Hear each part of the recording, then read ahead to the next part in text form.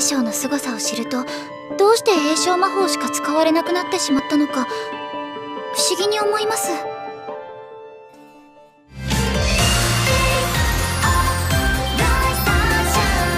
私マティ君のパーティーに入ります。これで魔物に襲われてもへっちゃらだね。やっぱり人間の体は不便ですよ。